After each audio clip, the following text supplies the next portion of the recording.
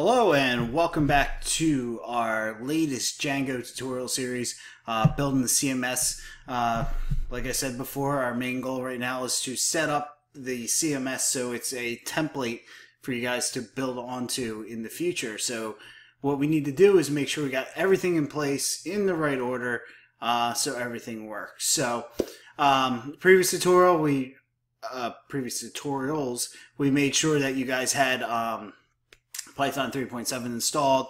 We went and created a virtual environment for our project.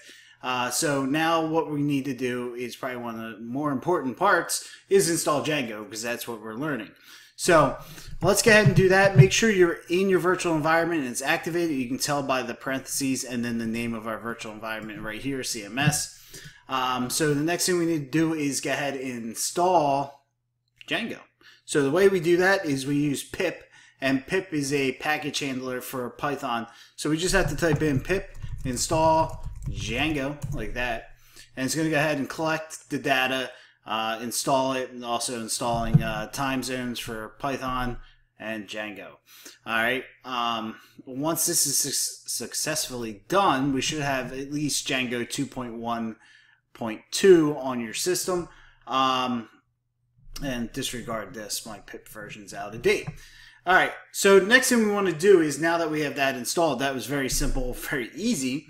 Next thing we want to do is go ahead and create our project, all right? So when we create a project in Django, uh, Django has this awesome, I guess, starter process. It will build a, a Django project for us, a default project, something we can work with. In theory, if we just went and ran the server, after we create this project, it would actually run and we would see something, which is pretty cool because if you're working with, um, I don't know, like, uh, yeah, I forget what I was going to say. Sorry about that. Uh, anyway, let's just get ahead and get this started. All right. Uh, for us to um, start a project, we use a command called Django hyphen admin. All right. And this gives us access to some of the commands within the manage.py file of Django. You guys don't know what that is yet, but I'll show you shortly.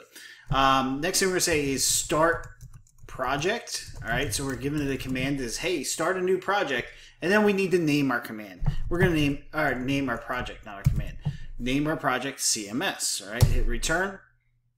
We don't see anything happen here visually to for us but in theory, a lot of things happen behind the scenes. If we do ls, notice there's a file here called CMS. If we do cd CMS, and then we do ls, notice there's another file named CMS and a file named manage.py. Manage.py is probably one of the most important files that you'll use throughout your development. So this is a great place for us to leave off, um, and then we'll keep building all our knowledge. And I'll explain to you a lot of the things manage.py can do, and also what's contained in the CMS file. If you guys have any questions, please let me know. Otherwise, I'll see you in the next tutorial where we get Git installed on your computer.